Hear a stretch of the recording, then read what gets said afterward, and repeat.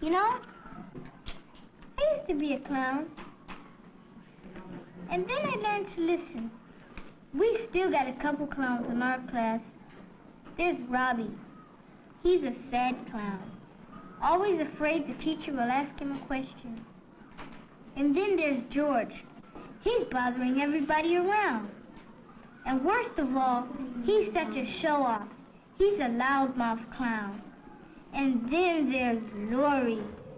You can't tell what she's thinking, but she thinks nothing of cheating. She tries to get away with everything.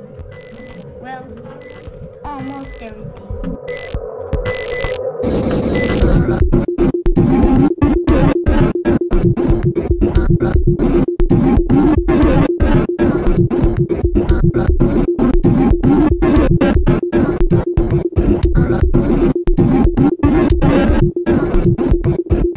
you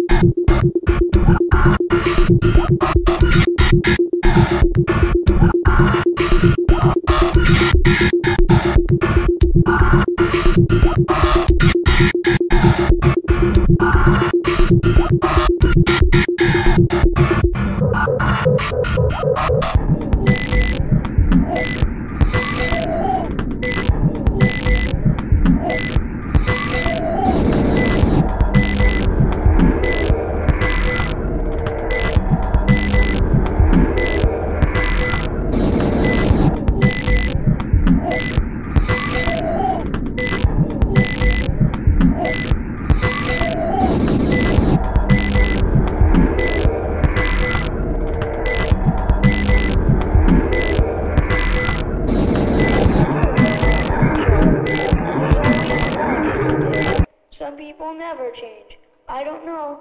Maybe they really want to, but they're sort of afraid to change. When is the last time you had a good look at yourself in the mirror?